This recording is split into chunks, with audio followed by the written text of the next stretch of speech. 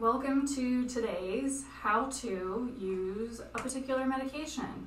Uh, the medication I'm going to be walking through is Ajovy. This is a monthly or every three month injection that can be done. Let's see how this goes.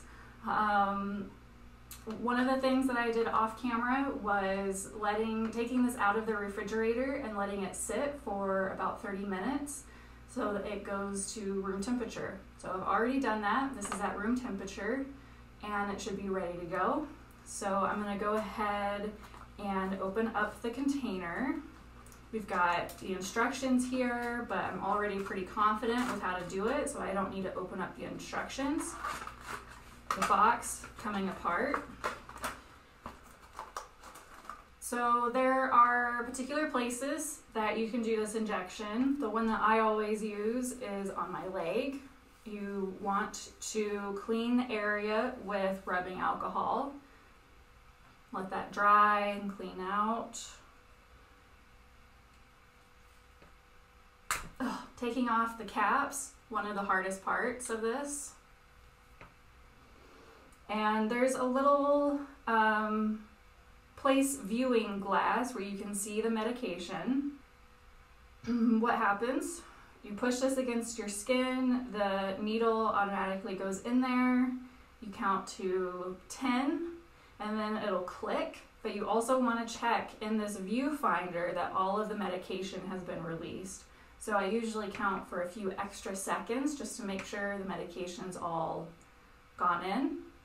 Um, all right, looks like that has dried. Another thing to remember is when pushing this against yourself to not be at some funky angle, but at 90 degrees to the surface. So from this camera, it may look like I'm angled, but it, from my eye, it looks like I'm at 90 degree angle. All right, let's do this.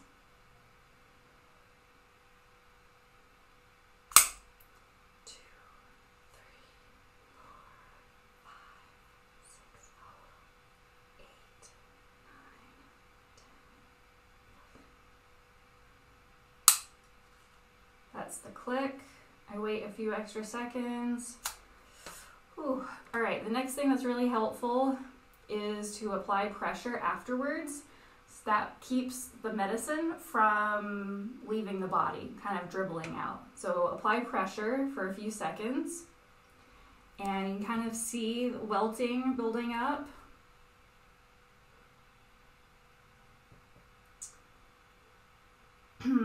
There's really minimal side effects with this. I was very skeptical when this medication came out, and they were like, side effects appear to be mild. And I was like, yeah, right. Um, but honestly, they do seem pretty mild, um, which is one reason why I have continued to use this. That being said, right after injecting it, I can sometimes kind of taste it in the back of my throat. Um, I don't know if that's like placebo or what, but you know, if that's like the worst of the side effects or the pinching of feeling the injection, like that's not bad compared to a lot of the side effects. So it looks like I'm no longer dribbling at the injection site.